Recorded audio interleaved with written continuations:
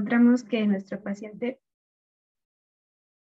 encontramos que nuestro paciente es un masculino de 25 días de nacido, que va a ser un producto del séptimo embarazo con nacimiento a término. El cuadro clínico eh, consiste eh, de siete días de evolución, eh, de eritema umbilical, edema y secreciones purulentas malolientes. Se hospitaliza con diagnóstico de ompalitis, que es la infección aguda del cordón umbilical, y se inicia tratamiento con antibiótico a base de oxacilina vía intravenosa. Pero como consecuencia de la, de la venopunción, se observa que hay una formación de un hematoma bastante grande, de 2 centímetros de diámetro, en el tercio distal del antebrazo izquierdo del bebé.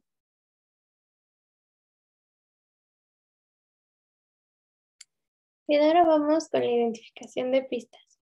Para recapitular, ya vimos que masculino de 25 días de nacido, que el principal motivo de consulta es la onfalitis y ese es el diagnóstico inicial. Hasta aquí no hay nada que nos llame como tal la atención. Hasta siguiente, por favor.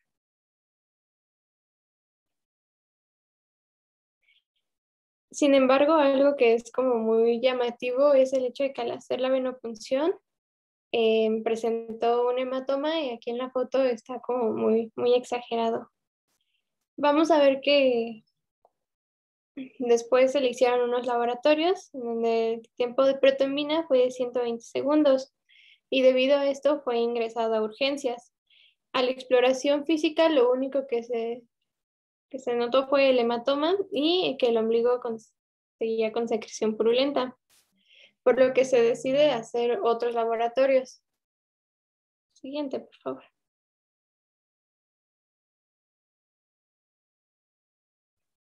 Ah, bueno, en los laboratorios lo que se hizo pues fue una biometría hemática en donde se observó que nuestro paciente tenía una anemia de tipo normocítica.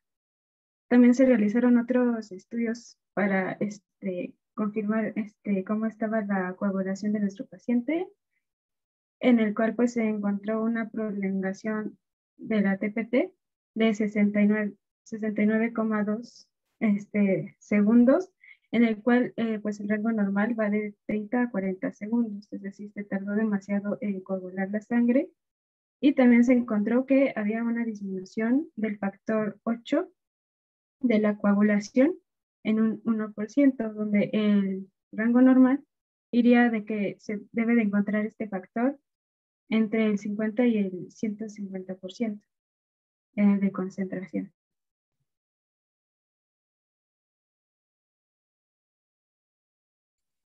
Bueno, hasta este punto, ¿qué es lo que más le llama la atención a ustedes?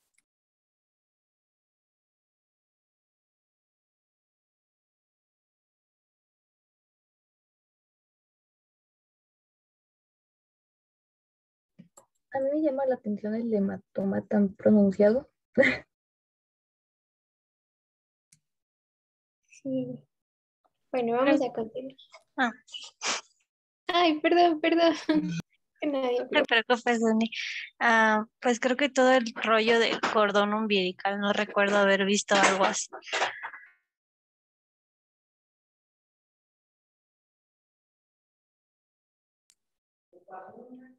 Bueno, entonces, nada más para recapitular, lo que en este caso está llamando mucho la atención es, como dijo Jess, el hematoma tan pronunciado y que en el laboratorio las principales alteraciones que se encontraron fueron la prolongación del DPT y la disminución eh, del factor 8 de la coagulación.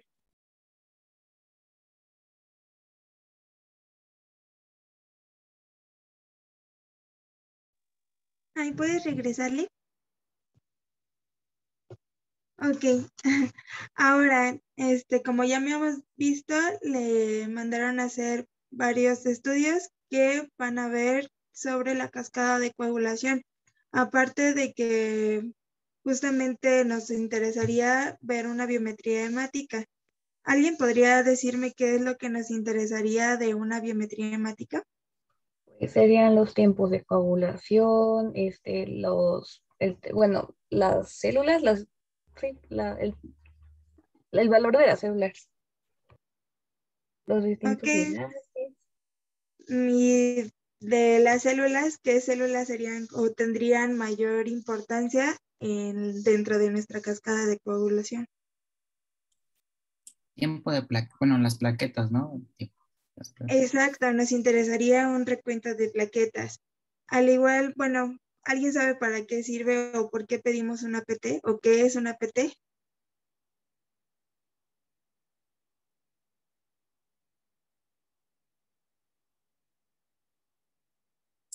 Ok, la PT es tiempo de protrombina y normalmente este estudio nos va a ayudar a reconocer este, si hay algún daño en factores de coagulación o algún daño hepático. Y, este, y la PTT, ¿alguien sabe qué es la PTT? Ay, es el tiempo parcial de tromboplastina.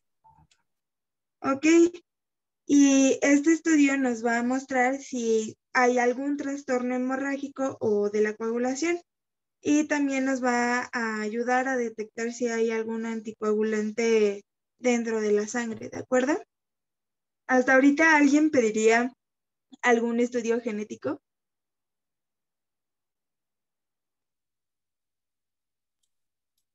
Por lo que ya vimos, las pistas, ¿ustedes así se les ocurriría pedir algún estudio genético? Algo que esté mal por ahí. Pues podríamos pedir una PCR, ¿no? Pero no sé para qué gen, bueno, qué, qué región podríamos amplificar, pero pues, si ya le vamos a, bueno, sí, podría ser. Ok, más adelante explicaremos más sobre esto. Siguiente, por favor. Ok, ¿qué diagnósticos podemos más o menos integrar con lo que ya conocemos? podemos este, encontrar relación a la enfermedad de von Willebrand. Ah, podemos conocer este, o identificarnos con una hemofilia adquirida, algún déficit del factor 12 o algún síndrome antifosfolípido. Siguiente.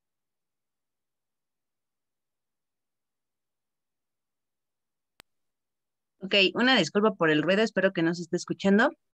Vamos a recapitular todo para que entiendan por qué vamos a llegar a cierto diagnóstico. Entonces, primero, eh, la idea es que es un masculino recién nacido, ¿no? Al inicio, el motivo de, de, atención fue el asunto con el cordón umbilical, que lo convertimos a un motivo de consulta, que justamente era la onfalitis. Pero después, cuando empezamos a hacer venopunción, nos dimos cuenta que algo también estaba pasando. Por lo tanto, el motivo de consulta se convirtió en que, por qué había un hematoma en el sitio de venopunción. Ante eso, nosotros hicimos una química, una química sanguínea que salió relativamente normal. Eh, la tromboplastina tisular es la que salió alterada, mayor a 120 segundos. Obviamente ya tenemos contemplado el hematoma de 2 centímetros de diámetro en el tercio distal del antebrazo izquierdo, pero también encontramos anemia, anemia normocítica, prolongación de TPT y disminución del factor 8. ¿Ok? Entonces, con estos, eh, o bueno, con todas estas observaciones que se le hizo al chiquito, la que sigue, nosotros tendríamos que guiarnos a un diagnóstico sindromático y como ya dijo mi compañera, hay uno que podría quedar, es el síndrome de von Willebrand. Este también es un problema en la parte de la coagulación, las proteínas este, o bueno, el factor von Willebrand no está funcionando y por lo tanto está permitiendo un prolongamiento del, del ¿cómo se llama? Del intento de hacer este, la coagulación para evitar que el, sangrado.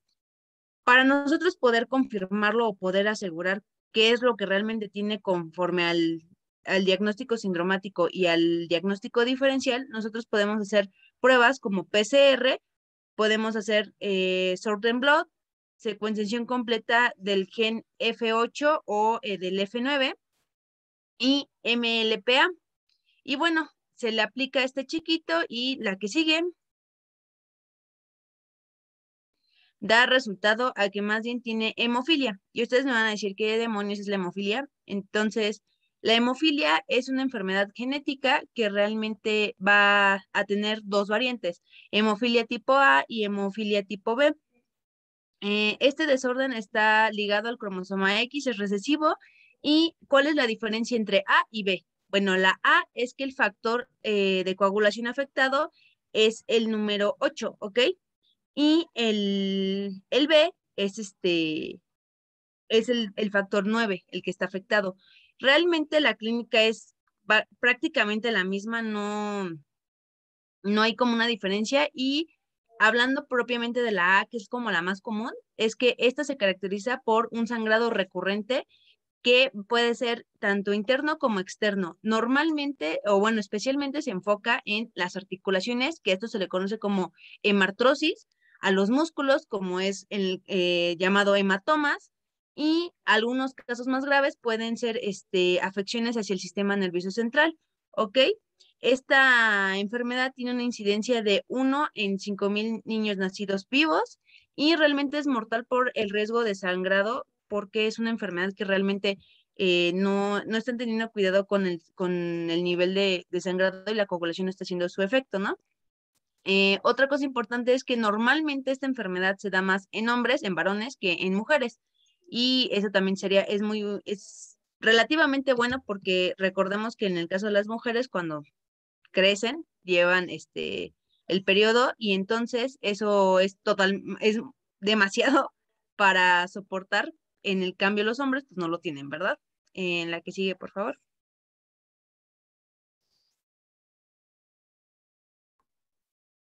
Ah, bueno, y con, con respecto a lo que es el manejo de estos pacientes, la primera línea de tratamiento va a ser la restitución del factor anticoagulante deficiente, ah, ya sea la hemofilia A, el factor 8, o en la hemofilia B, el factor 9.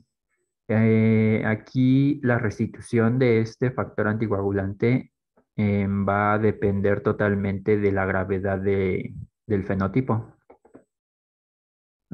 Si es un paciente con la enfermedad grave que tiene una actividad del factor deficiente eh, menor al 1%, eh, el manejo se va a basar en la profilaxis. Se va a tener que infundir vía intravenosa el factor recombinante faltante y bueno, también se va a tener que estar evaluando constantemente que no se formen anticuerpos inhibidores contra, el, contra este factor que se está eh, inyectando el paciente. Esto porque puede llegar a producir eh, anticuerpos si el paciente sería totalmente eh, resistente al tratamiento. Y en caso de que se lleguen a encontrar en algún momento estos anticuerpos, eh, se debe dar terapia de tolerancia inmunológica o de inmunodepresión para, pues sí, justamente para que no se haga más grave el problema y el tratamiento pueda seguir funcionando. Si el, este, si el paciente tiene una enfermedad moderada con una actividad del 1 al 5% del factor, eh, la terapia se va a basar en dar precipitados o concentrados del factor deficiente eh, ante la respuesta a una hemorragia. Al momento de iniciar la hemorragia se debe de dar estos concentrados.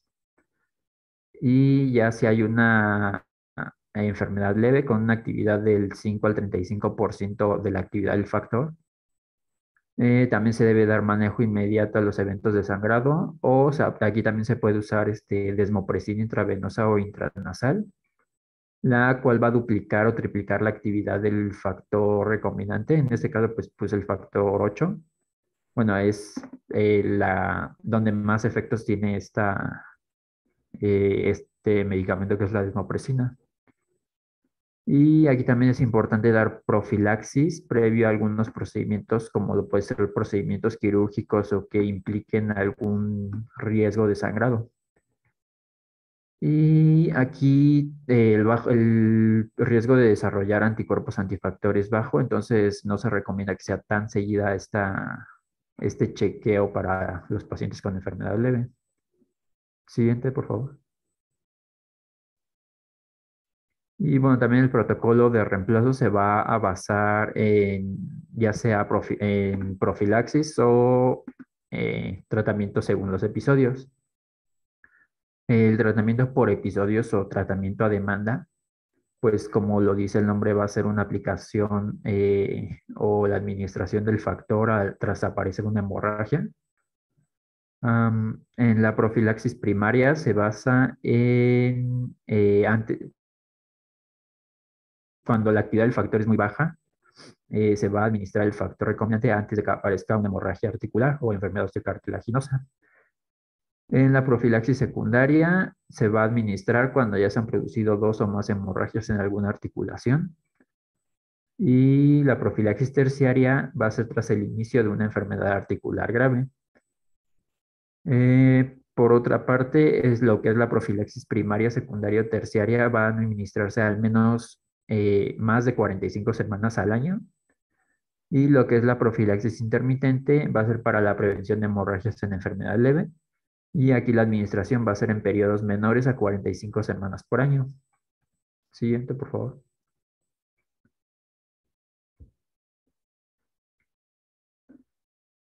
Em, bueno, ahí está la desmopresina, que su mecanismo de acción va a ser eh, estimular la liberación transitoria del factor 8 y esto solo debe de ser usado en eventos específicos, ya que tiene la posibilidad de desarrollar eh, em, resistencia al paciente a esta desmopresina. De hecho, es muy común que si se usa frecuentemente se desarrolle este, resistencia.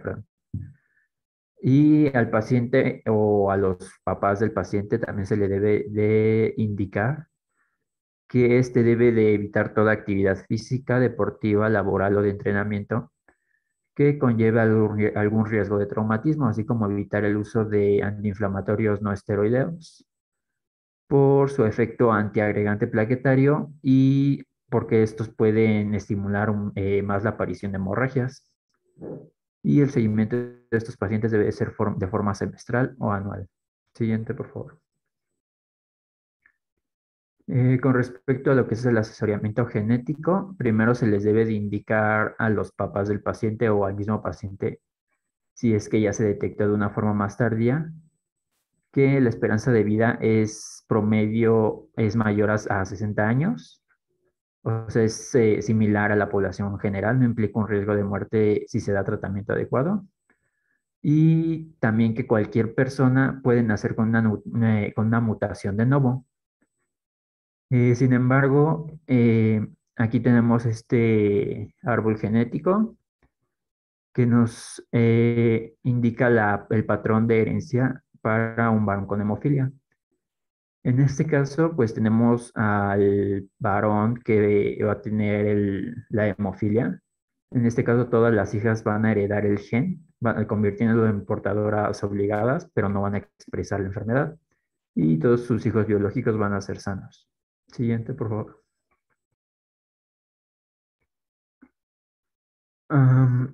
aquí tenemos el patrón de herencia para una mujer portadora de hemofilia.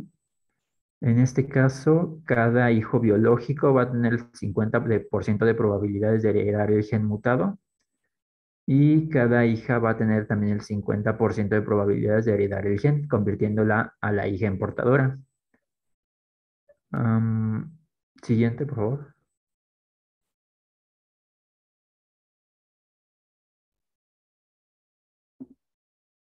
Ah, bueno, y ya para terminar, tenemos el patrón de herencia para un varón con hemofilia y una mujer portadora de hemofilia. en estos casos, se debe de considerar que la mutación podría ser diferente en cada parte de la familia. Por ejemplo, no sé, en el varón podría haber una, eh, una inversión del intrón 22, que es de lo más común y en la otra parte podría haber eh, una mutación de sentido erróneo que altere la síntesis del factor. Entonces, eh, aquí los hijos van a tener 50% de probabilidades de heredar el gen de la madre y ninguno va a heredar el gen del padre. Eh, y por otra parte, las hijas van a tener 50% de probabilidades de heredar el gen del padre, o sea que van a ser 50% portadoras y otro 50% eh, van a tener el riesgo de expresar la hemofilia. Siguiente, por favor. Y pues eso sería todo.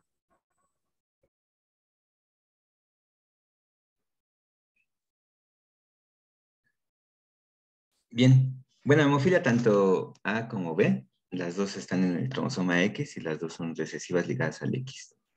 Pues ahorita lo que vimos de los árboles genealógicos, pues corresponden a herencia recesiva ligada al X. Entonces, para que también las repasen todos. Y pues es bastante frecuente, seguramente todos van a ver varios casos de hemofilia cuando estén en hospitalización. Bien, el equipo que sigue. Sí, doctor.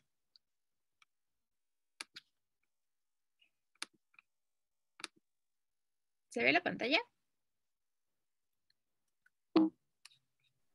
Sí. Gracias. Ay, ¿dónde está?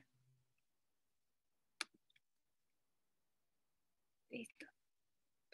Bueno, nosotros somos el equipo 5 y les traemos a nuestro tercer pacientito, a nuestro tercer caso clínico. Entonces, empecemos. Es un paciente masculino de 14 días de edad, entonces muy, muy pequeño. Acude a consultas externas de neurología y endocrinología para valoración de hipotonía marcada desde nacimiento y criptorquidia bilateral. Eh, antecedentes. Eh, empezando por los prenatales, es la segunda gesta, son padres no consanguíneos, es una gesta espontánea controlada de curso normal hasta las 33 semanas de gestación, cuando inicia estancamiento ponderal. El líquido amniótico es normal y los movimientos fotales son normales desde el cuarto mes. Eh, por la parte de los perinatales. El parto es un parto por cesárea, se lleva a cabo a las 36 más 6 semanas por riesgo de pérdida del bienestar fetal. Y el estado del bebé, del neonato, es un Apgar de 8, de 8 al minuto, de 9 a los 5 minutos. Pesa 2.130 gramos, eh, tiene una talla de 45.5 centímetros y tiene un perímetro cefálico de 33 centímetros. Eh, por parte de los antecedentes familiares no tenemos ninguno que nos interese.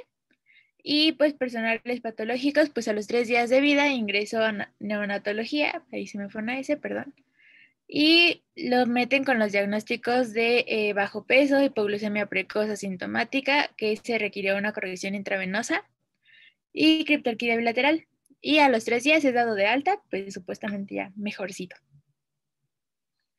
Eh, y bueno, a la exploración física que nos encontramos, eh, hay ojitos almendrados, orejas pequeñas de implantación baja, boca pequeña con paladar ojival, eh, bilateral, bolsa escrotal hipoplásica, pene de tamaño y morfología normal, hipotonía generalizada de predominio axial con postura de libro abierto en decúbito, eh, motilidad escasa con posibilidad de elevar miembros superiores e inferiores, hipomotilidad facial con succión pobre, y llanto escaso, reflejos osteotendinosos disminuidos y caderas laxas.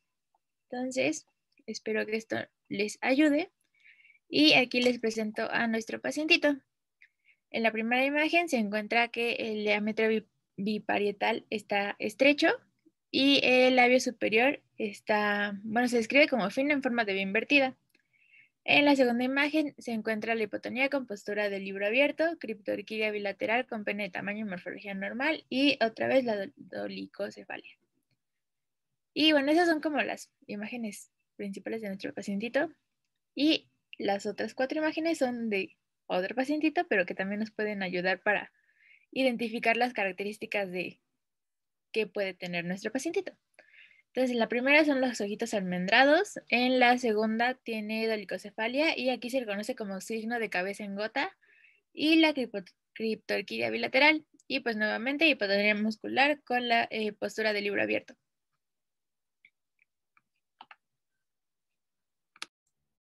Y bueno, ¿cuáles van a ser las...? Perdón, lo de cabeza en gota es por la misma hipotonía que, que cuelga la cabeza hacia atrás. Ah, ok, es que no el caso, pero gracias, doctor. Eh, bueno, entonces ahorita vamos a ver lo que son las, la información clave. entonces, bueno, aquí ya más adelantito pues vamos a ver cuál es la enfermedad, pero cabe destacar aquí algo importante, que bueno, las manifestaciones clínicas pues van a depender de, bueno, van a variar según la edad, ¿no? Y bueno, pero aquí en este caso en particular, pues ya vimos que pues durante el periodo prenatal, nuestro pacientito se presentó principalmente con una posición fetal anómala y bueno, los movimientos fetales también estaban disminuidos. Eh, y en particular al, nacimiento, pues llama mucho la atención de nuestro paciente lo que es la, principalmente la hipotonía marcada, e igual el bajo peso, eh, la postura del libro abierto de cúbito, y igualmente lo que es la motilidad general, bueno, está escasa, eh, así como tiene, presenta un llanto débil, igualmente por la misma la hipomotilidad facial, que igual está débil, y bueno, el reflejo de succión igualmente va a estar disminuido. Eh, este reflejo de succión disminuido lo que conlleva es a una, pues principalmente a una importante dificultad para la alimentación y bueno, como consecuencia un estancamiento eh, ponderal. igualmente la, lo que es la criptorquidia bilateral con, con las bolsas escrotales hipoplásicas. En la siguiente. Bueno, aquí vamos a ver lo que es el análisis, la definición, de, definición del problema y qué estudios solicitaríamos para identificar el diagnóstico del padecimiento actual. Pues en primera instancia sería un cariotipo. En el cariotipo podemos encontrar que hay 45 cromosomas XY. En el cromosoma X hay una lesión de la región de Prader-Willi-Algerman que es producida por una translocación no recíproca entre los cromosomas 15 y 16 y esta se puede dar por de forma de. Eh, también esta se debe de complementar con una técnica de FISH para detectar si hay de lesión de la zona, de la región, perdón, del cromosoma X, del brazo corto 11, de la región 13. Y también para complementar, pues utilizaríamos... es el cromosoma 15. Sí. Sí. Sí. Bien y se utilizaría también una, bueno, en el paciente se mandó a realizar una ecografía intracraneal, una abdominal y la testicular, como ya había mencionado mis compañeros, pues se encuentra una criptorquidia bilateral con bolsas escrotales hipoplásicas. La siguiente, por favor. Bueno, ahí podemos ver la zona de la lesión con la técnica de las ondas. La siguiente, por favor. Y también podemos hacer pruebas complementarias como el déficit de hormonas de crecimiento, donde tenemos que hacer un test de provocación eh, nocturna de la hormona del crecimiento. También una prueba de intolerancia a la glucosa. Eh, esta se puede hacer en ayunas o los niveles de hemoglobina glicosilada. En el caso de la criptorquidia, pues puede ser por medio de palpación o, como ya había mencionado, en la ecografía. Eh, el hipogonadismo, tenemos que ver los niveles séricos de testosterona en niños, respuesta a lo que es la LH y FSH. Eh, también ver si hay osteoporosis por medio de una densitometría y si hay trastornos respiratorios del sueño.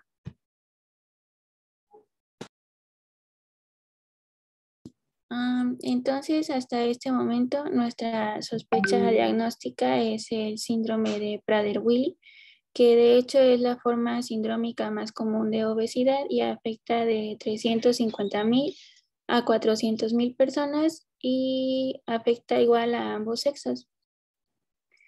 Y esto principalmente se puede dar por tres mecanismos. El primero, que es el más común, es por la pérdida de expresión en los genes que se heredan del alelo paterno en el cromosoma 15 en las 15Q, 11, 13 y los de la madre están silenciados epigenéticamente, entonces esta zona no se va a expresar. Y la zona que se pierde son los genes que están entre los puntos de corte de BP1 o BP2 hasta BP5 y los genes de SNORT 116 son los que se pierden y los que en los informes se asocian, los que determinan los diagnósticos o las características que ya habíamos visto, que son el bajo peso al nacer, la hipotonía infantil, que es una hipotonía central, el hipogonadismo, la hipomotilidad, la hiporreflexia y la hipoglucemia. La siguiente, por favor. Y este, el segundo mecanismo es por una disomía uniparental del cromosoma 15, en la que se heredan las dos copias de la mamá y la del papá se pierde. Eh, en estos casos, el principal mecanismo por el que se da la unisomía es porque no hay una disyunción materna en meiosis 2. Entonces, el óvulo tiene las dos copias del cromosoma X y va a ser fecundado por un espermatozoide normal. Y por el mecanismo de rescate trisómico, la copia del papá se pierde y el cigoto solo se queda con las dos copias de la mamá. Y en el caso que no se perdiera la copia del padre, el producto no sería compatible con la vida. Entonces, que pierda la, eh, la, copia del padre es lo que hace que pues, pueda continuar con el desarrollo.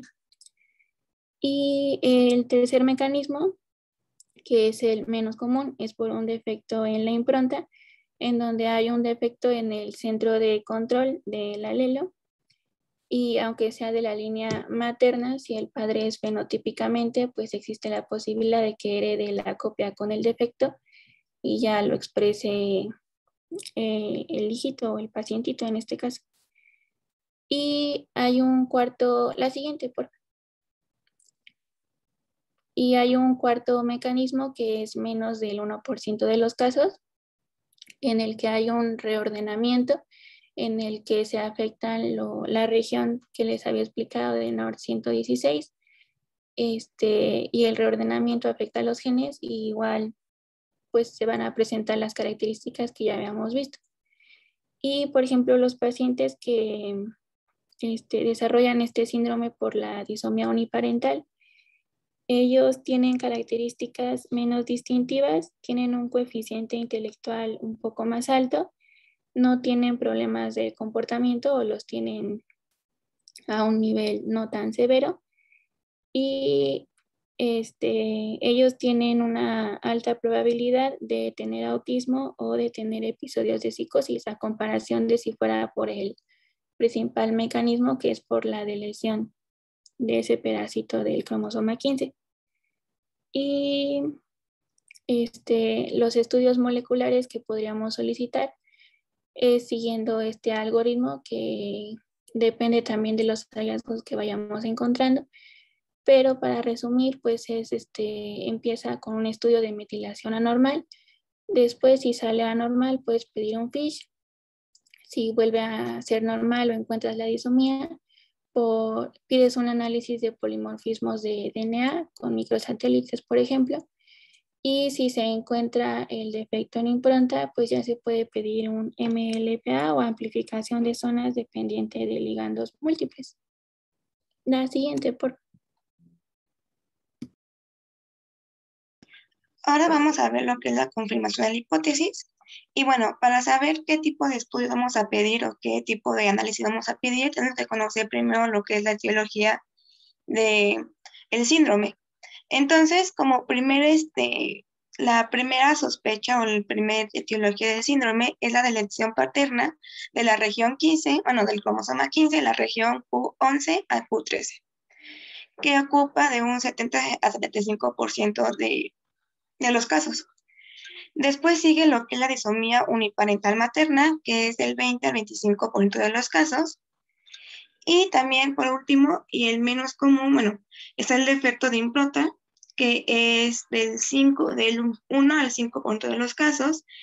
Y bueno, también está lo que es la reorganización cromosómica de la región del cromosoma 15, del 11 de la región 11Q a 13Q, que es el menos del 1% de los casos.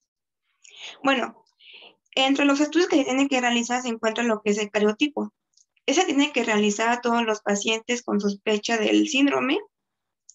Y lo que permite ese estudio es estudiar las reorganizaciones cromosómicas que afectan las regiones del cromosoma 15. También se tiene que realizar lo que es un test de, un test de metilación o un MPCR ella se realiza en todos los pacientes y lo que ayuda a diagnosticar eh, o confirmar el diagnóstico que sea causado por una delección, una disomía uniparental materna, una, un defecto de impronta. Pero lo que no te ayuda o lo que no permite es diferenciar entre cada una de las etiologías. También una y lo que es la más, eh, la que te da el diagnóstico definitivo definitivo sería el FISH, debido a que se permite eh, eh, detectar lo que son las deleciones en, tales, en tal cromosoma. En caso de que salgan negativas todas, se tendrá que realizar un análisis mitocondriales en los casos que necesita eh, eh, esa técnica permite detectar ambos cromosomas provienen del mismo origen, ya sea de la madre o del padre. La siguiente, por favor. Aquí tenemos un esquema donde viene eh, cómo podemos realizar eh, ahora los dos estudios. Como ya mencioné, el cariotipo se tiene que realizar en todos los pacientes. Posteriormente, también se tiene que realizar lo que es un test de, de metilación. Si sale eh, normal, el síndrome, eh, la sospecha del síndrome es negativo. Si sale alterado, se tiene que realizar un FISH. En caso de que FISH salga negativo, se tiene que realizar estudios mitocondriales. Y aquí ya eh, nos van a decir si es una disomía uniparental materna o una mutación de impronta. ¿Cómo sabemos por qué tenemos que realizar tres estudios? La siguiente, por favor. Es base por el conjunto de sospechas clínicas. Por favor, la siguiente. Ok, para eso vamos a eh, utilizar lo que son los criterios de Home. Aquí vamos a tener lo que son los criterios mayores. De color amarillo se encuentran los criterios que tenía el paciente. Eh, podemos ver que tenía pocos criterios debido a la edad que tenía el paciente, estaba muy pequeñito entonces, entre los criterios mayores se encuentra lo que es hipotonía central, lo tenía el paciente. Problema de alimentación en la infancia con dificultad para generar peso. El paciente se encontraba muy pequeño. Eh, también obesidad después de los 12 meses y antes de los, eh, obesidad después de los 6 meses y antes de los 6 meses. Eh, fenotipo facial característicos con dolicocefalia, Diámetro bifrontal disminuido, ojos en forma de almendra y boca pequeña. También lo tenía el paciente. Hipogonadismo, uh, hipogonadismo hipoplasia genital, maduración conadal incompleta ante los 16 años. Retraso global en el desarrollo en menores de 6 años. Retraso mental moderado a partir de los 6 años. Hiperfagia, obesidad, eh, perdón, hiperfagia, obsesión por la comida, y también de elección del cromosoma 15, región eh, Q11 a 13. Eh, también entre criterios menores se encuentran movimientos faciales disminuidos, letargia infantil, llanto débil.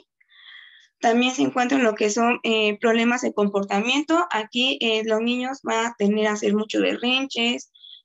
también este, tienen problemas como tienen arranques de, furia, también este, tienen problemas porque tienen a mentir mucho, a robar. Eh, también va a tener este, trastornos de sueño. Aquí eh, va a tener mucho sueño durante el día y también va a tener eh, síndrome de apnea del sueño, talla baja, hipopigmentación, manos o pies este, muy pequeños para la edad y talla que tenga el paciente, anomalías oculares, también va a tener lo que es la saliva viscosa y defectos en la articulación de las palabras y retraso, eh, rascado excesivo en la, en la piel. La siguiente, por favor.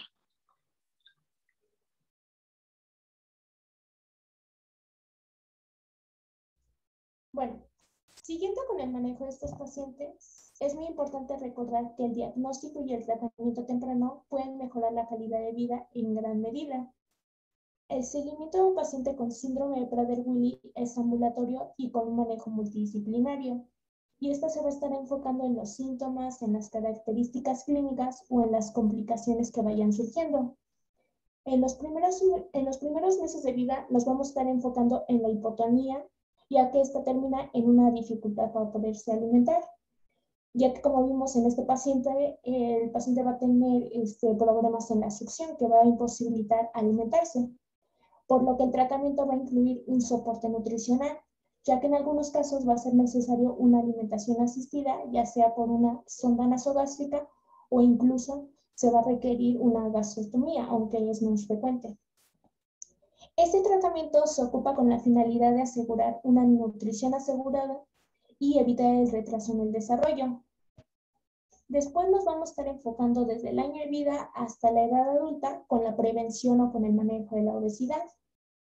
Iniciando con la hiperfagia, el tratamiento va a incluir una supervisión muy estricta de la alimentación y una limitación de acuerdo a las necesidades dietéticas del paciente. Dentro de la supervisión nutricional se debe evaluar la ingesta de vitamina D, de calcio y otros nutrientes y en caso de que haya alguna deficiencia de estos nutrientes, se puede indicar una suplementación. En cuanto al tratamiento farmacológico, está el tratamiento con hormona del crecimiento. Esta se utiliza como una terapia sustitutiva, ya que se ha visto que en estos pacientes van a presentar una mejoría en el crecimiento lineal, en la composición corporal, en la densidad ósea también van a tener una mejoría en el perfil lipídico y una mejoría en los patrones de comportamiento. E incluso en algunos casos se ha visto también que mejoran en gran medida el tono muscular y la movilidad de estos pacientes. La siguiente, por favor. Bueno, siguiendo con el manejo de estos pacientes, vamos a ver que va a ser necesario incluir una intervención temprana de terapia física en los niños menores de 3 años ya que esto puede mejorar la fuerza muscular y estimular el desarrollo. En cuanto a la terapia del habla, esta se comienza aproximadamente desde los dos años de edad y tiene como objetivo evitar el retraso del lenguaje en la infancia.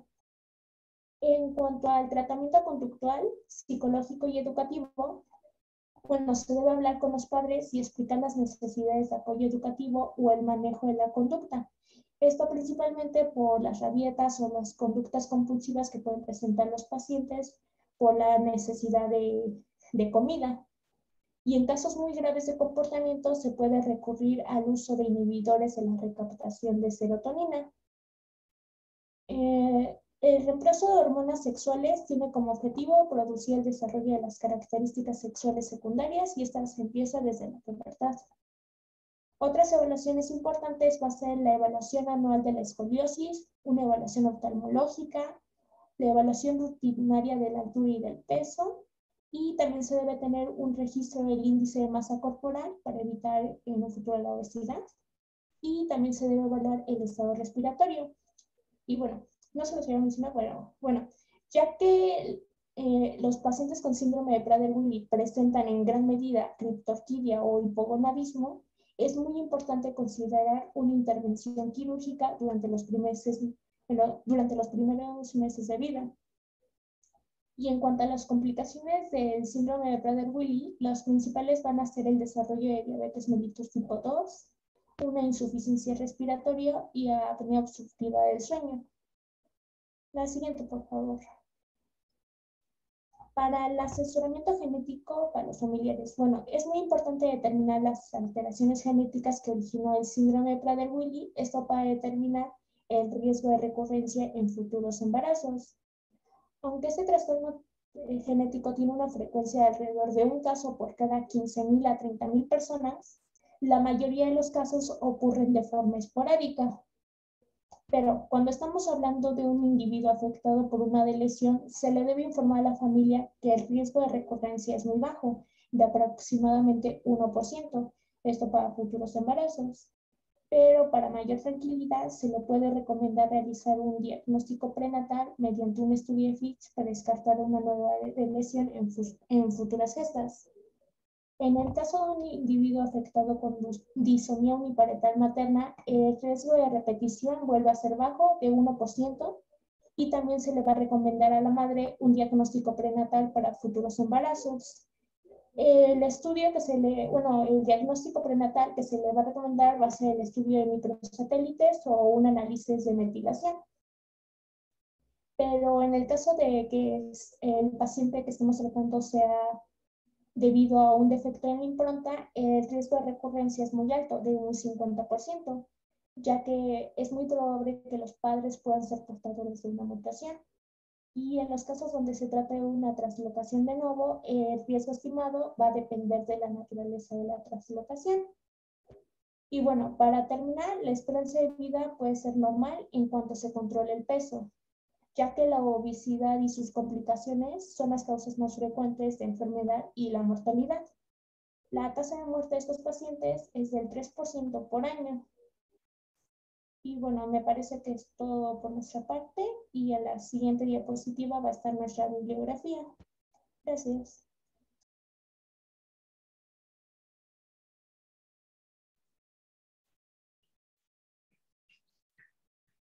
Bien, bueno, ya habíamos explicado un poco lo de la región de Prader, Willy y Angelman y que la mayoría de los casos pues es por microlesión, ¿no?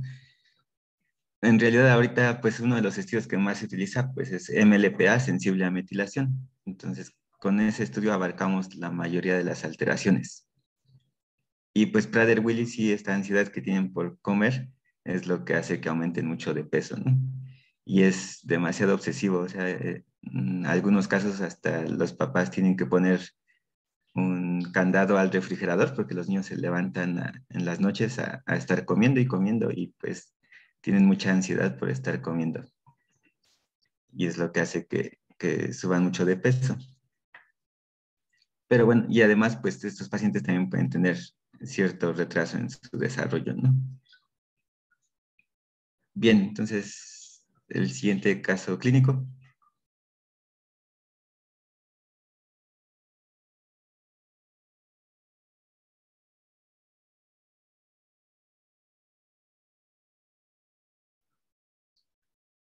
Bueno, perdón, y también pregunten sus dudas. Si, tienen, si alguien tiene alguna duda, pues pregunte a sus compañeros. Ahorita ellos son los que saben más del, de ese diagnóstico.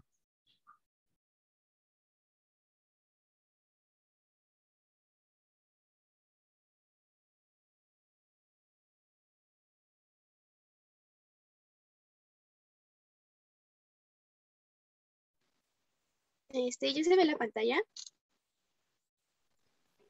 No, dice que está cargando.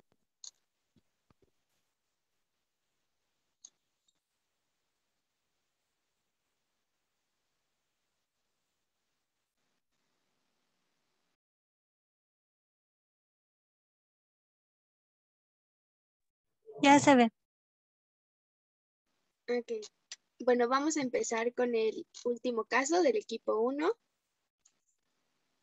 Y bueno, vamos a iniciar con la descripción del caso.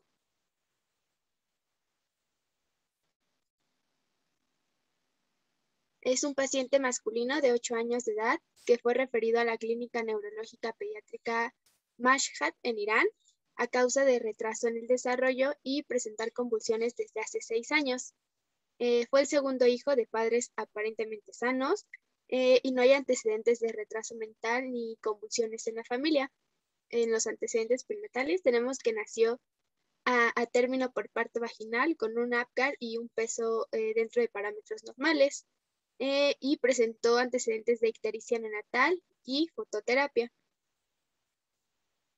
Presentaba gesto facial sonriente y los padres se percataron que había un retraso en el desarrollo a los dos años de edad, eh, por lo que fue admitido en el hospital por presentar convulsiones tónico-clónicas y se le administró valproato sódico.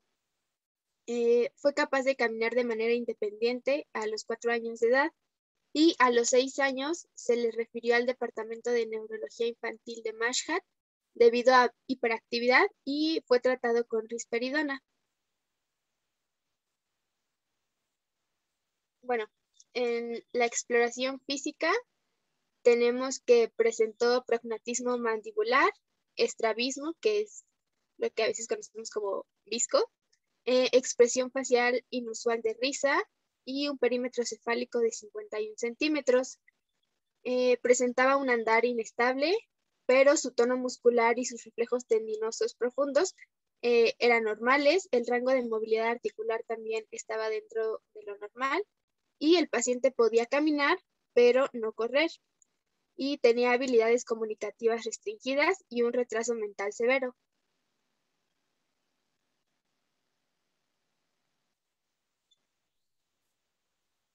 Bien, ahora las pistas que vamos a nosotros encontrar en el caso que ya leyó Pau es que uno, vamos a tener en el paciente una discapacidad mental.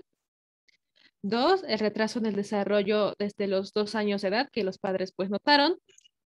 Y uno que es muy importante y que es muy característico de esta patología son los gestos faciales felices. También algo característico que llegan a presentar estos pacientes son las convulsiones tónico-clónicas, el prognatismo y estrabismo, y la circunferencia de la cabeza de 51 centímetros. Todo eso podemos ver que esta imagen es del paciente que nosotros estamos presentando y podemos ver que pues cumple con todos los criterios que ahorita vamos a ver para qué enfermedad es. ¿A qué sigue, por favor? Bueno, entonces vamos a realizar el planteamiento del problema, ya saben. Si notan, estas preguntas se parecen un poco a las que hicimos la semana pasada.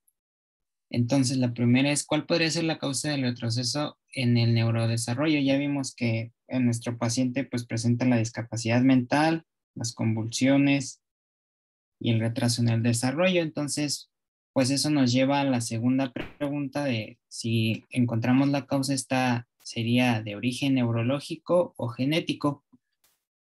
Entonces, no sé, ¿qué opinan? Vamos a ver. Eh, ¿Recuerdan? Bueno, como les decía el caso pasado, entonces, ¿creen que sería pues factible mandarle una tomografía, por ejemplo, en estudio de imagen? Como para descartar eh, parte neurológica.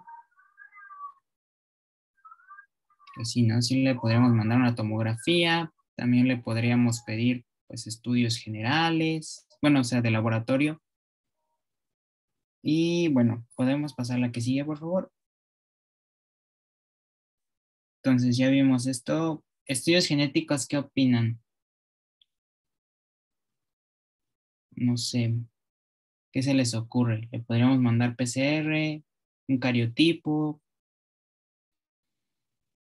Tendríamos que analizar primero si tal vez nuestro trastorno es un poquito más epigenético o genético totalmente. Entonces, vamos a la que sigue, por favor. Al paciente se le realizó una resonancia magnética, la cual resultó normal. También se le hicieron laboratorios que resultaron normales, o sea, le hicieron un hemograma y otros estudios, ¿no? Química sanguínea. Ah, y se le hizo un examen de función tiroidea la cual se detectó hipotiroidismo, el cual también fue tratado.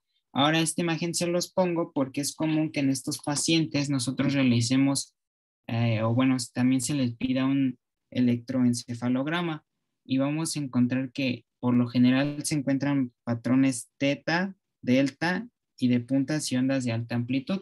Entonces, o sea, no es como totalmente característico de este, de este padecimiento, pero sí es muy común que cuando mandemos el electroencefalograma se encuentren este tipo de patrones. Y bueno, vamos a la que sigue. Bueno, a, nuestro paciente se le realizó una PCR específica para metilación. Entonces, pues al decir ya metilación, estamos pensando en un trastorno eh, pues de carácter, por así decir, eh, epigenético. Y entonces, pues se detectó un patrón de metilación anormal en la región SRNP, o sea, defectos o de lesión de la impronta materna. Más adelante vamos a ver en qué región específica y de qué cromosoma estamos hablando. Y después de, bueno, esto es lo que se le realizó al paciente, pero ya vimos que también le podríamos realizar MLPA o tal vez FISH. Ah, bueno, y lo que les decía era que pues después de amplificar, lo llevaron a un gel de agarosa y entonces, aquí este es el del paciente. Este llama, si pueden ver mi cursor, no, ¿verdad? No sé si pueden señalar el que nada más es una rayita. Ese es el del paciente y el que está del lado derecho es el de una persona normal. Este, el del lado derecho, el que tiene dos, ese es el de una persona normal. Entonces, pues como ven, hay una metilación, por lo tanto no hay una expresión eh, de ciertos eh, genes que se ubican en la región que vamos a comentar más adelante. esto es lo que les digo, se le realizó al paciente en el caso, pero pues como ya comentó el doctor, se le pueden realizar otro estudio como MLPA y todo, recordemos siempre, eh, en este caso va relacionado a la clínica. Ya nos había comentado Fer que, por ejemplo, los gestos, este, estos faciales sonrientes son muy característicos de esta patología, entonces pues eso también nos orilla más a realizar este tipo de estudios y, por ejemplo, no antes un cariotipo, sino ya de una vez ir a, a este tipo de estudios. La que sigue, por favor. Ahora, diagnósticos diferenciales, sí vamos a encontrar muchos, o sea, bueno, son bastantes. Eh, por ejemplo, tenemos síndrome de Colin Price, uh, síndrome de Pitt-Hopkins, Prader-Willi, Kleefstra y otros. Pero, por ejemplo, a ver, um, síndrome de Red, ¿se acuerdan? Lo vimos la semana pasada. Entonces, pero ¿cómo luego, luego podríamos decir, no es síndrome de Red, aunque también presenta, pues, eh, retraso en el desarrollo y pues estar como discapacidad mental, ¿qué nos podría así como decir, no, pues no es síndrome de red? Así que es como que dijimos, el tipo de herencia en el síndrome de red era dominante ligada al X. Entonces, pues nuestro paciente es del sexo masculino y es muy, pero pues sí, muy raro que se aparezca síndrome de red en un paciente pues masculino. Entonces, pues podríamos descartarlo eh, luego, luego así del diagnóstico diferencial, aunque pues claro, sí presenta algunas, este, pues sí, características por igual. Ahora, por ejemplo, la mayoría de, bueno, gran parte de estos síndromes que estamos viendo tienen que ver con el neurodesarrollo, entonces, pues hay un retraso, por ejemplo, en el lenguaje, o por ejemplo, en Cullen, Cullen de, de Price, también hay esta como eh, parte risueña que vemos en los pacientes. Y, por ejemplo, en Pitt Hopkins, también el, eh, los, las afectaciones oculares eh, pues se parecen, bueno, pueden llegar a estar y también pues la conducta es muy parecida a, a lo que tiene nuestro paciente. Entonces, pues tendríamos que checar precisamente el cuadro clínico ¿no? que está presentando el, paciente. La que sigue, por favor.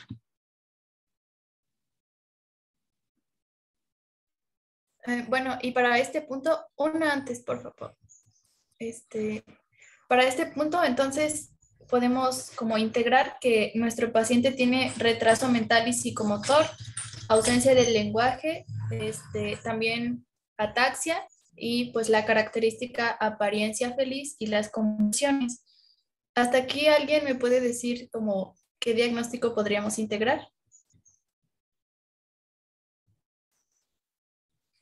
Está relacionado con el caso que vimos justo anterior. Ya lo habíamos mencionado igual en una clase con el doctor. Síndrome de Angelman. Ajá. La siguiente. Y bueno, entonces para este, este cuadro clínico, para el síndrome de Angelman, aquí igual les traigo los criterios. Esta tabla la pueden encontrar en el libro. Eh, como pueden ver, para el diagnóstico se necesitan cuatro criterios mayores y por lo menos tres a seis menores en teoría. Entonces vamos a repasar cuáles tiene nuestro paciente. Retraso grave del desarrollo psicomotor, si la tiene, trastornos en el movimiento o equilibrio. Eh, si recuerdan, el paciente este, no podía correr, sí caminaba, pero incluso tardó para caminar, eh, empezó a caminar a los cuatro años. El comportamiento inusual, la apariencia feliz, también aquí está. La disfunción grave del lenguaje, también el paciente pues tenía habilidades de comunicación restringidas. Otros menos frecuentes, pero que también eh, observamos en el paciente, fueron las crisis convulsivas, Iniciaron en nuestro paciente a los dos años. Eh, y también acá abajo podemos ver eh, el prognatismo y el estrabismo, que también se incluyeron en el caso. Eh, pero sin embargo, pues este, puede, en, en, este cuadro pueden haber más criterios, algunos de los más característicos pues son eh, el occipital plano, lo que habían eh, dicho de los dientes separados, eh, la, boca grande. y pues pueden presentar también, como en el síndrome de Prader-Willi, alteraciones al principio de la succión, los que, lo que podría llevar a hipotonía. Sin embargo, en una etapa más eh, posterior también podrían desarrollar obesidad. La siguiente, por favor. Esta es una tabla igual que nos menciona los mecanismos moleculares por frecuencia, con qué eh, análisis lo podríamos observar y el riesgo de recurrencia en los padres. Pero em, la siguiente. Aquí en esta imagen ya podemos observar como un poquito más visual estas causas. Entonces, ya habíamos dicho que la principal causa de esta patología es una microdeleción o de lesión en un 70-75%. Como pueden ver, aquí tenemos el alelo paterno, el alelo materno, pero aquí hay una alteración. Entonces, aquí esta región, la región improntada, que en el cromosoma 15, de la región eh, Q11 a la Q13, eh, no, no está, hay una lesión en el cromosoma materno. Entonces, recuerden que eh, la, alteración tanto en el síndrome de Angelman, en Angelman como en el síndrome de Prader-Willi es en el mismo cromosoma. Sin embargo, lo que diferencia estas dos patologías es en qué alelo está eh, la alteración. Acuérdense eh, que en el de Prader-Willi empieza con P, afecta el alelo paterno o los genes paternos y por lo tanto se van a expresar los maternos. Y en este caso, en el de Angelman, afecta los genes maternos, por lo tanto se van a expresar los paternos. Entonces, en la primera causa, que es de lesión, el paterno está bien y el materno eh, hay una de lesión, entonces van a expresar otra vez los paternos o también se van a expresar igual. En la otra causa, que es la disomía uniparental, también ya la habíamos revisado con el doctor, tenemos dos alelos eh, que vienen de un mismo progenitor, en este caso del padre. Entonces, otra vez vamos a tener expresión de los genes paternos. En el tercer caso, que es eh, el defecto de la impronta, ahorita en el, en el siguiente esquema se va a, explicar un poquito mejor, pero igual si pueden ver, aquí tenemos un alelo paterno y un alelo materno, pero que está eh, pintado en color azul, porque de igual forma los genes que se van a estar expresando son los paternos, aunque el alelo sí sea de la madre. Y en la última causa, que es la mutación, eh, en este caso ya puntual, como del gen, que es el gen V3A, eh, igual tenemos un alelo paterno normal y en el materno, pues la, mutación. La siguiente, por favor. Y pues bueno, aquí está la región del cromosoma 15. Eh, en este esquema pueden ver que eh, los cuadritos que están, todos estos son genes, ¿no? Los genes que están involucrados en esta región.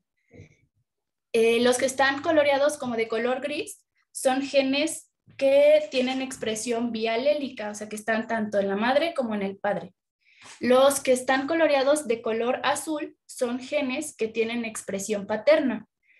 Abajo, en el cromosoma materno, podemos ver otros cuadritos coloreados de color rojo esos son genes que tienen expresión materna. Y los que están nada más delineados, o sea, si está delineado de color eh, azul, son genes que no se expresan en el cromosoma materno y al contrario, en el cromosoma paterno podemos ver cuadritos solo delineados de color rojo y esos son cromosomas que no se expresan en el cromosoma paterno. Entonces, vamos a repasar otra vez las causas. Cuando hay una delesión eh, que si, pueden ver también habíamos analizado la clase pasada los puntos de ruptura, aquí está BP1, BP2, BP3.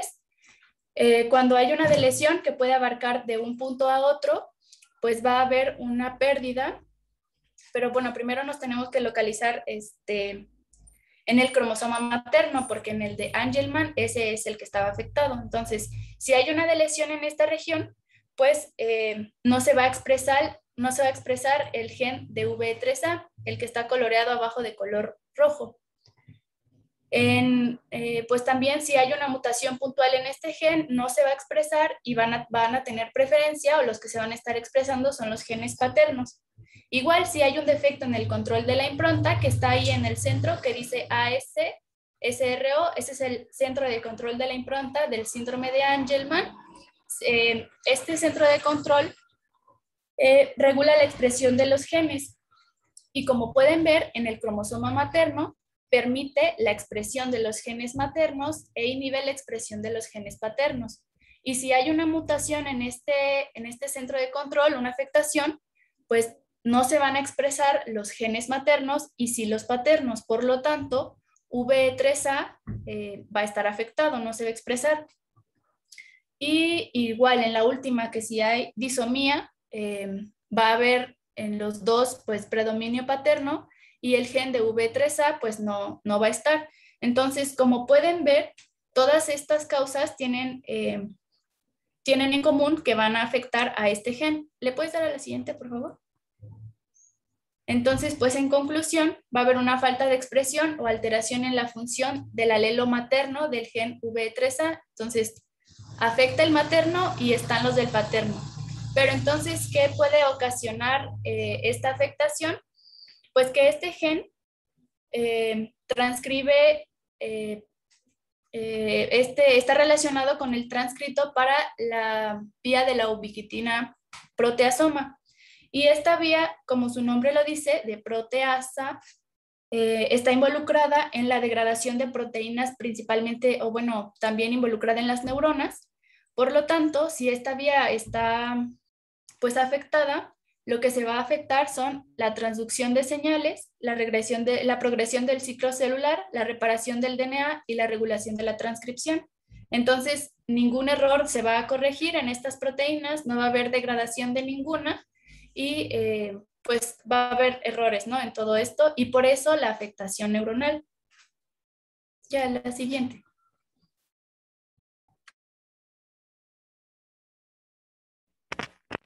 Ok, bueno, eh, siguiente, por favor. Bueno, ya considerando eh, que se trata de síndrome de Angelman, empezamos a ver cómo es que eh, confirmamos este diagnóstico. primero, como siempre, vamos a tener en cuenta lo que es la parte clínica. Entonces, viendo los criterios que ya nos presentaron previamente, pues vamos a ver que de mayores, nuestro paciente presenta varios. se habla de que tiene un retraso severo, entonces, pues, eh, podemos eh, concluir que el paciente tiene retraso psicomotor. También en el caso se comenta que tiene eh, restricciones al momento del habla. Entonces esto lo podemos poner como alteraciones del lenguaje. También habla de problemas a la hora de caminar. Entonces alteraciones de la marcha. ya hemos visto los gestos de felicidad, esta sonrisa que presentan, que incluso en clase pues ya nos habían presentado imágenes. Y la hiperactividad, que fue uno de los primeros de síntomas que presentó el paciente. Ok, de menores, bueno, en realidad eh, son menos. El crecimiento del, del, perímetro cefálico está disminuido. Esto pues podría indicar una microcefalia y eh, las crisis convulsivas. Y pues para asegurar que se trata de este, este, síndrome, bueno, pues tenemos dos asociados, que son el prognatismo y el estrabismo. Considerando esto, bueno, ya es pues muy, bueno, puede ser muy seguro que se trata de síndrome de Angelman y eh, ya teniendo este síndrome en mente, bueno, eh, leí que tanto las convulsiones como la microcefalia, es decir, eh, los dos criterios clínicos que están en al apartado de menores, indican o pueden ser indicativos de que se trata de una lesión. además que ya vimos que pues, la lesión es la principal de las causas, con alrededor del 70% de los casos. Entonces, teniendo esto en mente, bueno, pues se va a hacer un estudio que, en el que se va a buscar una de lesión. ¿Y cuál va a ser? Bueno, pues el de FISH. Eh, aquí se busca con una sonda de secuencia única, que es esta que está abajo, eh, D15S10. Y es la, la roja que está abajo de la parte central del cromosoma. Es decir, la que solamente podemos ver del lado derecho. Eh, como pueden ver del lado izquierdo, solamente se ve una línea roja que es inferior del lado izquierdo, Ajá, sí, y del derecho, eh, bueno, pues se puede ver dos. ¿Esto qué indica? Bueno, que en el cromosoma 15 eh, de la izquierda, que en este caso es el materno, bueno, pues hay una lesión, porque no se está eh, hibridando. Entonces, considerando todo lo que ya nos explicaron y viendo que la lesión sí está presente en el cromosoma materno, pues ya podemos confirmar que se trata de síndrome de Angelman. Eh, como ya vimos, si fuera en el cromosoma que está del lado derecho, es decir, el cromosoma paterno, bueno, pues se trataría del síndrome de Prader-Willi. Entonces, eh, al haber este cromosoma, bueno, pues sabemos que eh, el gen que nos está produciendo es el VE3A. Y esto es lo que está causando la alteración. Y ahora sí, siguiente. Bien, ya para terminar vamos a ver la aclaración o solución. En cuanto al manejo, tenemos un riesgo de recurrencia aproximado del 50%, pero este es un aproximado para heredar el alelo con la mutación. Este, como Erandi les explicó, hay muchos tipos de, bueno, hay varios mecanismos para que la mutación se dé y cada una tiene su probabilidad. Entonces, para confirmar, podríamos hacer un FISH para que en una segunda gesta los padres tengan más seguridad de, pues, qué probabilidad tienen de tener otro hijo con síndrome de Angelman. Y bueno, ya como el fuera del asesoramiento genético, el manejo como tal, primero tenemos los medicamentos anticonvulsivos, que en el caso de este paciente era uno de los aspectos que mayormente estaba afectando su calidad de vida. Em, fisioterapia para ayudar con los problemas para caminar y moverse. Recuerden que tenemos un retraso en la motilidad significativo en este paciente, aunque podía caminar, no podía correr y pues eso puede llegar a afectar su calidad de vida.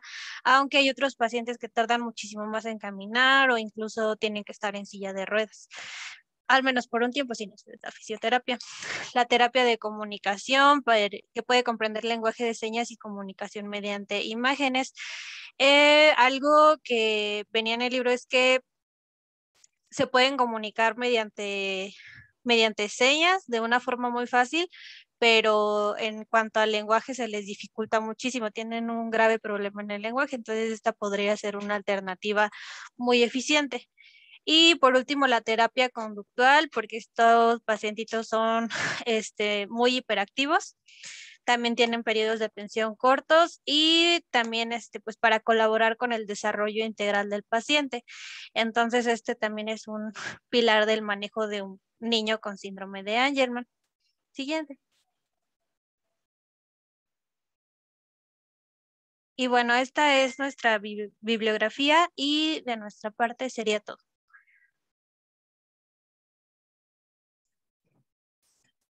Bien, bueno, después vamos a repasar estos diagnósticos, pero mm, espero que ahorita ya todos ya hayan revisado, ¿no? Estos diagnósticos es algo complejo lo del mecanismo molecular y en realidad es lo que, lo que es representativo de estas condiciones y es lo que queremos que, se revise, ¿no? En, en la clase. O sea, la cuestión de epigenética. Bien, pues creo que alcanzamos el siguiente caso clínico. Permítanme un segundo, ahorita comparto pantalla.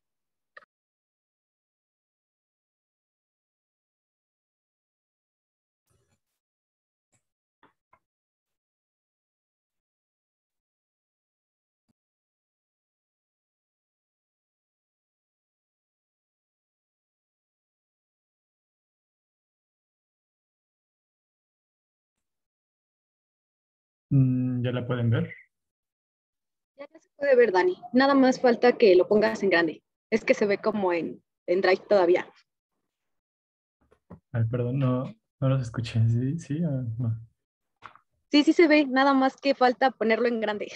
Ah, ok, perdón, perdón. Listo.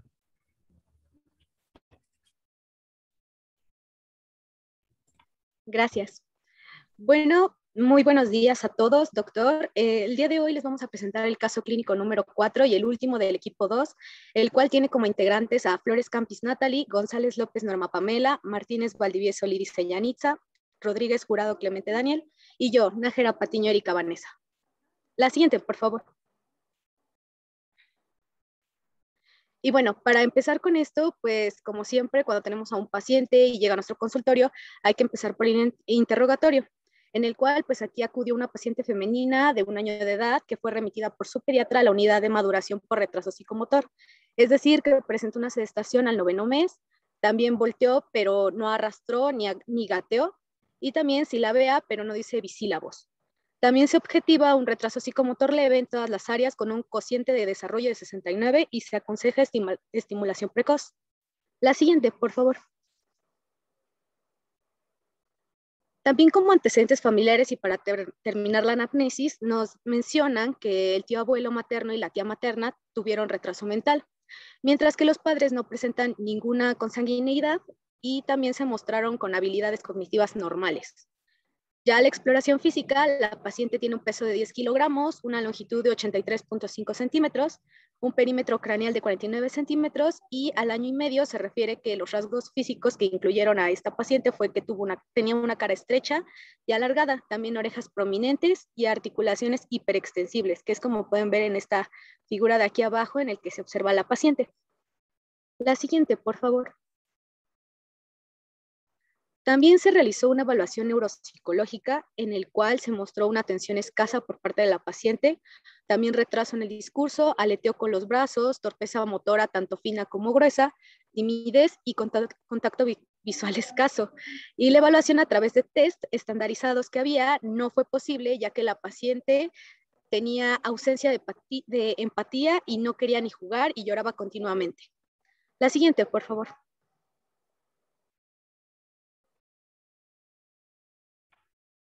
Ok, ahora pasando a la identificación de pistas y formación clave, datos que a mí me parecen relevantes y que ustedes espero también les haya llamado la atención, de los antecedentes familiares, el tío abuelo y la tía materna, ambos con retraso mental.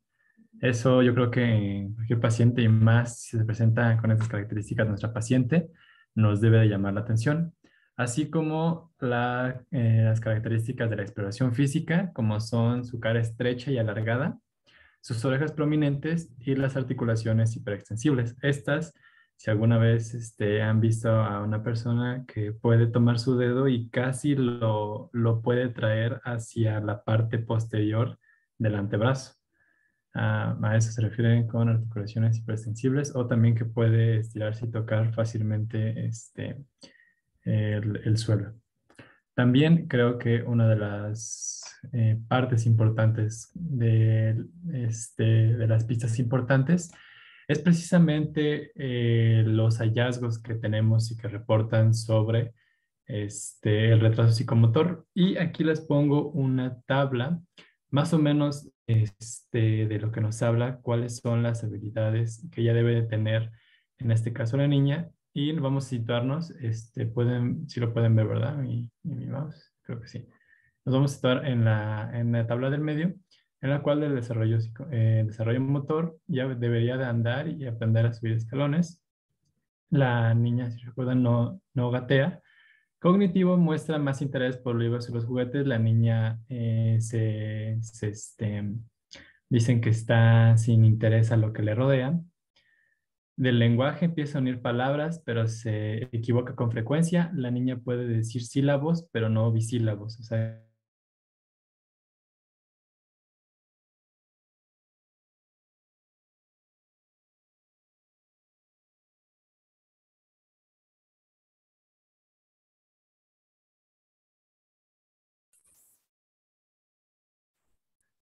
Ah, perdón, ¿en qué momento me perdieron?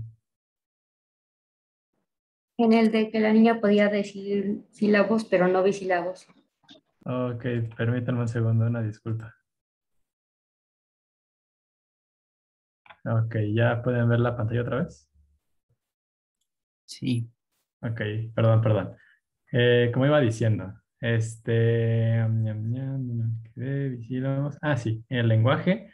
La niña pues solamente puede decir este, sílabos, no puede empezar a estructurar palabras. Y social, eh, la niña, como este, nos decía el caso, empieza, eh, tiene timidez y pues no muestra este contacto visual, por lo que eh, se muestra, yo lo entendería como que tiene todavía que estar con sus padres, ya que se siente o le intimida todo lo que está alrededor. Así que también si podemos eh, ver en todos estos cuatro, tiene un, este, una alteración nuestra niña del caso clínico.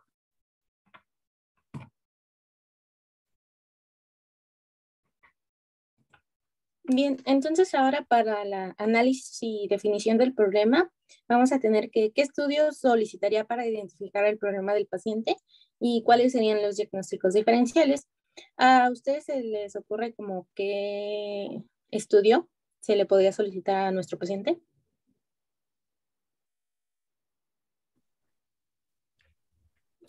Una tomografía. Y pues sí, podríamos tomar una tomografía para ver si hay un problema estructural en nuestro paciente. Eh, bueno, la que sigue.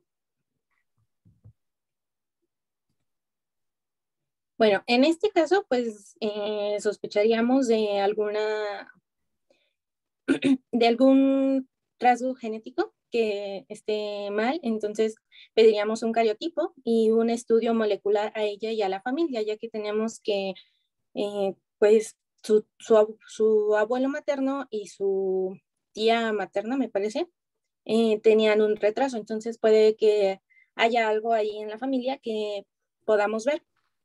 Y también se le realizó una ecocardiografía para descartar la presencia de un prolapso valvular mitral o una dilatación aórtica. Eh, la que sigue, por favor.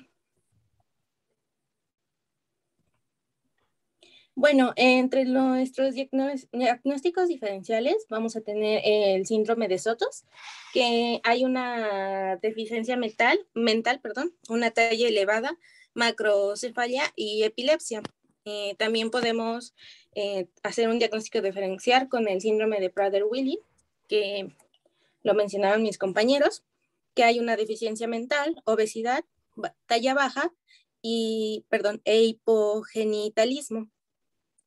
Podríamos también tener el síndrome de Klinefelter, con que estos pacientes tienen una talla alta, un hipogenital, eh, perdón, hipogenitalismo y deficiencia mental. También eh, tendríamos el síndrome de X frágil, que va a ser el síndrome más frecuente en deficiencia mental hereditaria. Eh, normalmente el retraso se va a dar más en hombres, bueno, va a ser más moderado y en mujeres va a ser más leve, más leve este, retraso, este retraso mental. Y vamos a tener en hombres que va a haber macroquidismo tras la pubertad, macrocefalia, eh, soplo cardíaco u obesidad. También podríamos eh, tener como diferencial eh, autismo o un síndrome de hiperactividad más déficit de atención. ¿Ustedes piensan en cuál sería de estos?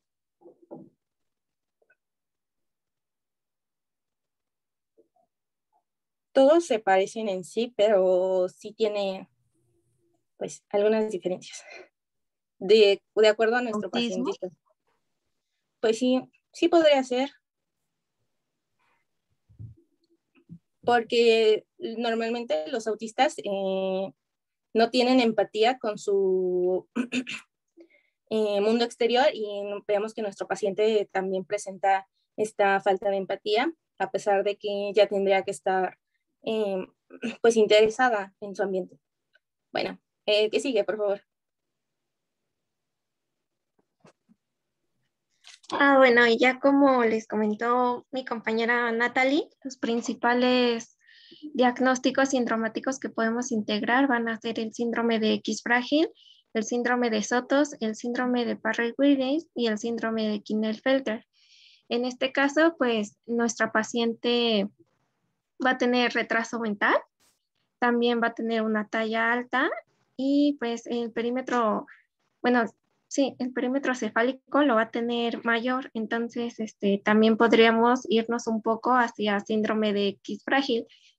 Y la siguiente, por favor.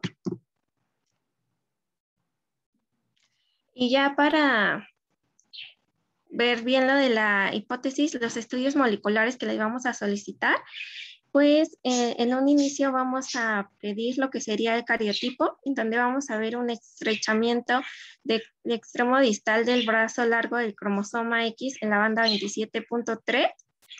Y también debemos confirmar este, nuestro diagnóstico con un test genético del gen FMR1 y este se va a realizar en todos los pacientes con discapacidad intelectual o con autismo, además de pues algunas características como las que ya se mencionó anteriormente, que son las orejas grandes y aladas, la cara alargada y también si tenemos una, un historial familiar de déficit intelectual, como pues nuestro paciente lo tuvo. Entonces, para esto vamos a realizar una PCR. Si sale positiva, pues vamos a dar un diagnóstico de síndrome de X frágil y si sale negativo, vamos a proceder a realizar un software blog.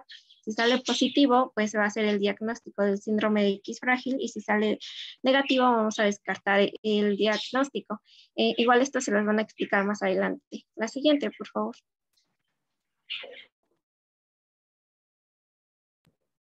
Muy bien, entonces eh, lo que se le pidió a nuestro paciente fue una evaluación por oftalmoscopía y audiología para confirmar que no hayan problemas ahí, lo cual salió normal.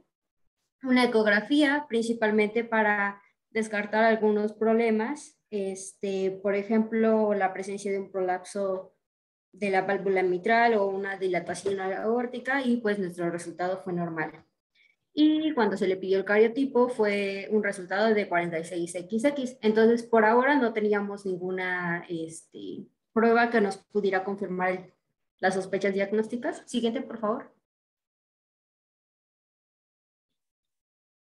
Entonces, eh, se le hizo a toda la familia un análisis del gen FMR y este, y es lo que nosotros podemos ver en el árbol genealógico que podemos ver aquí. ¿Alguien me lo podría decir, por favor?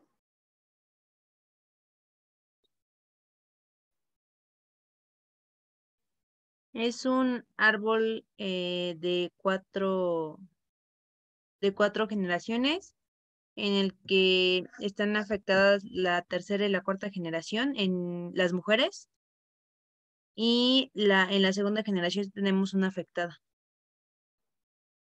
Muy bien, gracias. Entonces, este, ¿por qué les pongo el árbol principalmente?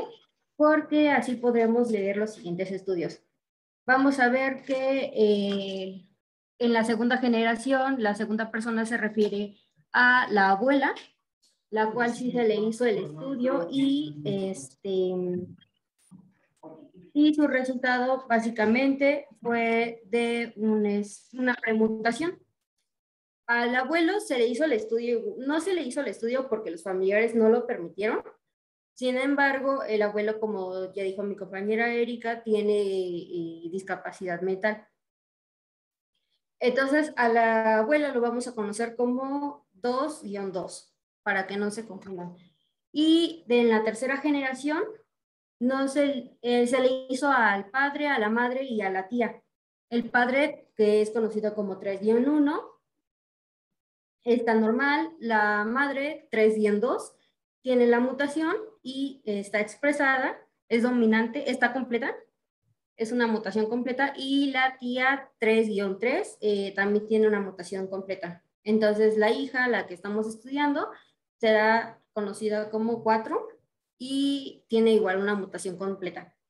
Para el estudio genético molecular de síndrome de, este, de X frágil de la niña se le hizo un Souter plot y em, vamos a ver que en un hombre normal lo que vamos a obtener es una banda no metilada en, de 2,8, eh, no sé qué es que, que cabe, disculpen, son kilobases.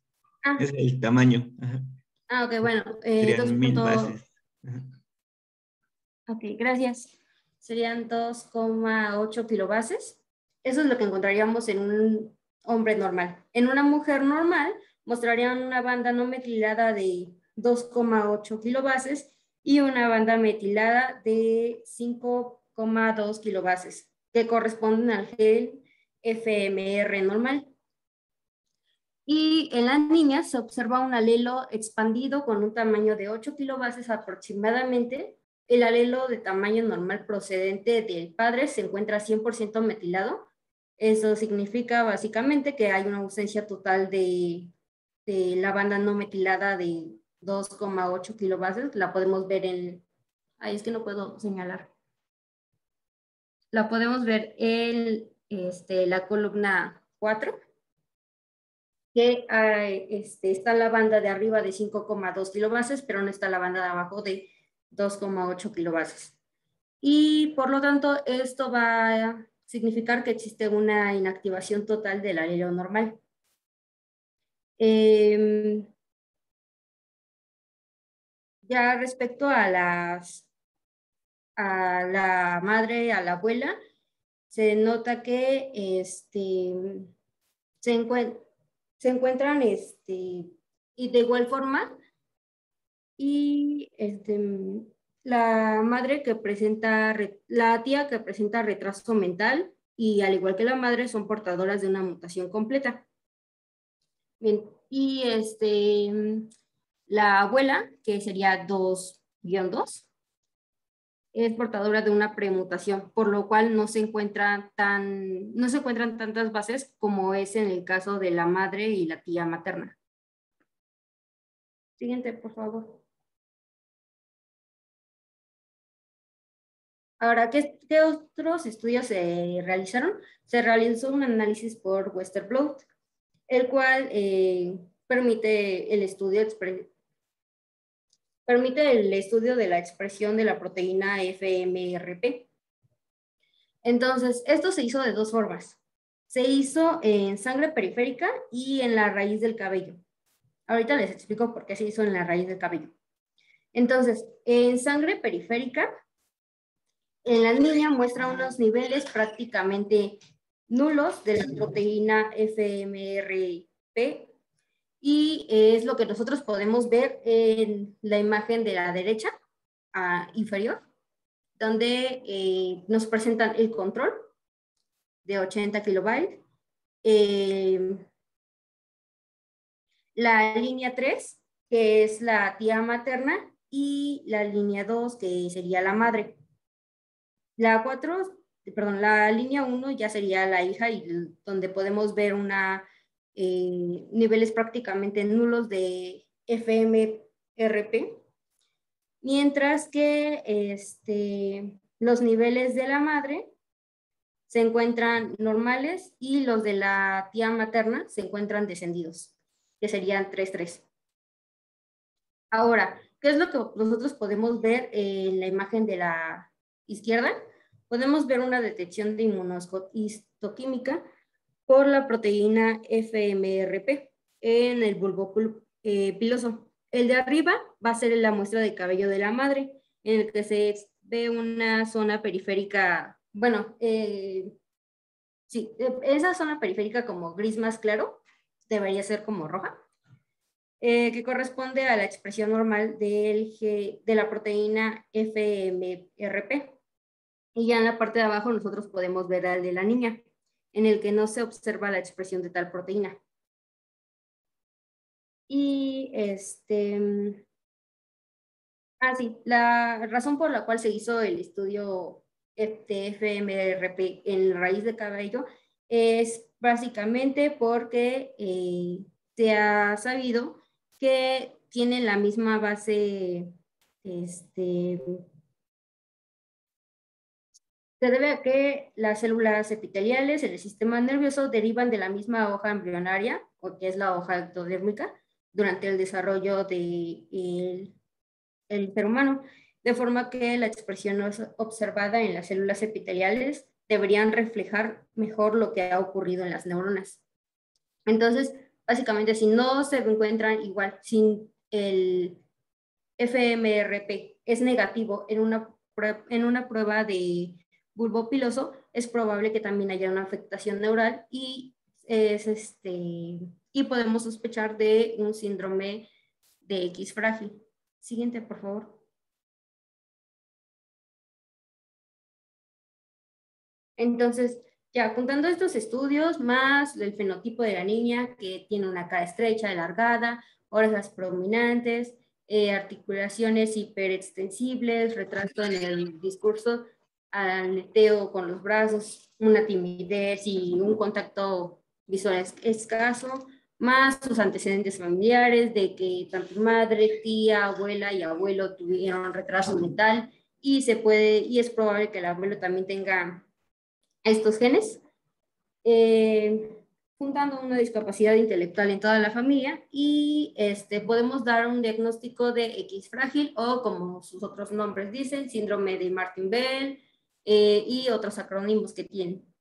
Eh, cabe mencionar que sí se hizo un estudio de microsatélite, sin embargo, el resultado de este análisis no es informativo, no es informativo ya que no existen diferencias entre la niña y los restantes miembros familiares, siendo todas las mujeres del estudio homocigotas. Entonces, por eso no los puse aquí. O sea, sí se hizo, pero no nos muestra nada los resultados. Eh, siguiente, por favor. Bueno, ahora que tenemos el diagnóstico definitivo de la paciente, pues podemos hablar del manejo de estos pacientes que presentan esta patología de X frágil. En la actualidad no se dispone de un tratamiento específico para X frágil, pero se recomiendan terapias que se centren en la intervención educativa y un tratamiento farmacológico de los trastornos de la conducta. Entre algunos de los que se mencionan puede ser la clozapina, la onlazapina, la risperidona y la quetiapina. Pero algo que es importante mencionar es que de los más estudiados y que han tenido una gran eficacia sobre los síntomas neuropsiquiátricos que puedan presentar los pacientes son la olanzapina y la risperidona. Ahora bien, en el caso específico de esta paciente, lo que se recomendó fue una estimulación precoz impartida por el equipo de atención temprana del Centro de Valoración y Orientación de Sevilla, junto con el seguimiento semestral de la niña en la unidad de maduración del hospital. Así que algo también que es importante es que el manejo va a estar basado en los síntomas y requiere de un enfoque multidisciplinario. Se recomienda también fisioterapia y terapia de integración sensorial, así como los planes de educación que les mencioné deben ser individualizados e intervenciones conductuales pueden llegar a combinarse hasta con otros fármacos. De otros que también me gustaría mencionarles son aquellos que puedan ayudar al trastorno que pueda haber de déficit de atención o hiperactividad que presenten los pacientes, también inhibidores selectivos de la recaptación de serotonina, si es que presentan algún trastorno de ansiedad, depresión o TOC, de trastorno obsesivo compulsivo, y también agentes antipsicóticos atípicos para los comportamientos autolesivos y conductas agresivas que puedan llegar a presentar. La siguiente, por favor. Gracias. Ahora, también es importante conocer el asesoramiento genético. Y bueno, lo importante aquí es que el riesgo de que una mujer con una premutación tenga un hijo afectado está determinado por el tamaño de la premutación, el sexo del feto y la historia familiar. Entonces, el riesgo en que una portadora de una premutación tenga un hijo afectado puede llegar al 50% para cada hijo varón y del 25% para cada hija. Basándonos en el análisis de número relativamente pequeño de madres portadoras, el riesgo de recurrencia parece disminuir a medida que la premutación se acorta, es decir, si presenta de 100 a 59 repeticiones. La siguiente, por favor. Entonces, en cuanto a estas repeticiones, tenemos varias tablitas que nos puedan ayudar a entender y recordar un poco sobre esta patología. Así que nada más a modo de resumen, hay que recordar que esta enfermedad es transmitida como una enfermedad dominante ligada al cromosoma X con dominancia incompleta y está causada por una expansión repetitiva del triplete CGG, situado en la zona transcrita pero no traducida del primer exón del gen FMR1. Por ello, pues si nosotros averiguamos un poco de las repeticiones y el nivel de mutación, podemos pensar en que si van a presentar la patología de los pacientes o bien si nada más van a ser portadores de la misma. Así que la repetición de este triplete puede ser clasificada al menos en cuatro grupos basados en el tamaño de la repetición y la frecuencia de la población. Que aquí, como lo pueden ver en la imagen de la derecha, ahí se observa cómo se describen, en el cual a nivel común, podríamos decir este grupo común es de 6 a 45 repeticiones, en el cual podríamos decir que es la población sana, ¿no? El intermedio, zona gris, son de 45 a 60 repeticiones. La premutación, en el cual ya podríamos hablar de un paciente portador, es de 61 a 200 repeticiones. Y una mutación completa, que es como la que presentó la paciente, va a ser de más de 200 repeticiones. Así que aquí es donde ya vamos a presentar las patologías. La siguiente, por favor. O más bien, en este caso, la sintomatología y signos que presentan los pacientes con X frágil. Ahora, aquellas parejas que deseen descendencia, debemos brindarles información relacionada con el diagnóstico, la naturaleza de la enfermedad y el patrón hereditario. También la estimación de riesgo se debe hacer con base al porcentaje y en base también al carácter de futuro de cómo quieran este, esta pareja la planificación familiar, ¿no? Se deben ofrecer las opciones reproductivas para que los pacientes tomen sus propias decisiones y entre ellas puede ser, puede ser la abstinencia, la adopción, inseminación artificial, fecundación in vitro, también un diagnóstico prenatal o un diagnóstico preimplantacional. La siguiente, por favor. Y ya para concluir, pues en este diagnóstico prenatal es el que mayormente se, digamos, se menciona en la literatura y que se puede llegar a recomendar, en el cual debe considerarse siempre y cuando existan antecedentes de algún familiar previamente diagnosticado. Y se le debe indicar a toda persona con riesgos a transmitir la enfermedad a futuras generaciones. Este estudio nos va a ayudar a permitir conocer el comportamiento de la prevalencia del gen en la población e identificar a aquellas personas que puedan ser portadoras del gen mutado. Es decir, aquellas personas que, como les mencioné, pueden tener estas repeticiones de premutación. Ahora, puede llevarse a cabo mediante el análisis de DNA fetal presente en las vellosidades coriónicas o bien en los amniocitos, pero también se menciona un diagnóstico prenatal molecular, este a través de Southern Blot o PCR, Fundamentalmente se lleva a cabo en las muestras de líquido amniótico o también de las vellosidades coriales. Y con ello también podemos orientar a los padres si es que quieren llegar a tener más descendencia aparte del hijo que ya tuvieron afectado o bien si es que ya tuvieron antecedentes de esta enfermedad, pues orientarlos un poco más a si quieren tener descendencia. La siguiente, por favor. Y eso sería todo. Muchas gracias por su atención y Cualquier cosa, ahí están nuestras referencias por si también gustan consultarlas.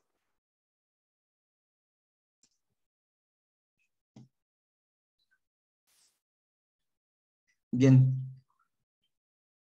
Bueno, ya habíamos visto, ¿no? Que es la primera causa de retraso mental o discapacidad intelectual de causa hereditaria. Entonces, si ustedes ven una familia en donde hay más de un caso con retraso, una puede ser que si hay algo cromosómico, pero por ejemplo, si los papás no tienen ningún problema y tienen más de un hijo afectado y hay más hijos afectados o más familiares afectados, pues hay que sospechar en este diagnóstico, ¿no? Sobre todo si son hombres, estarían más afectados. Y algunas mujeres pues pueden ser eh, nada más portadoras, aunque la herencia es dominante ligada al X, pero ya vemos que es por expansión de repetidos, entonces es de la herencia no clásica. Bien, pues después también vamos a repasar. Mm, yo creo que en unas dos o tres semanas repasaríamos todo lo que hemos visto hasta ahorita para que nos quede más claro. Pero sí me gustaría que todos ya estuviéramos revisando todos estos diagnósticos y todos los mecanismos que hemos visto hasta la fecha. Parecen sencillos, pero ya que vemos, por ejemplo, que yo les pregunto, pues ahí me doy cuenta que, que todavía nos falla, ¿no? Bien, pues entonces nos veríamos el miércoles y continuaríamos con los últimos casos clínicos. ¿Alguien que tenga algún comentario o pregunta? ¿No? Bueno, entonces nos vemos el miércoles. Buen día, gracias. Bueno, buen día. Gracias, el miércoles. Buen día. Bye.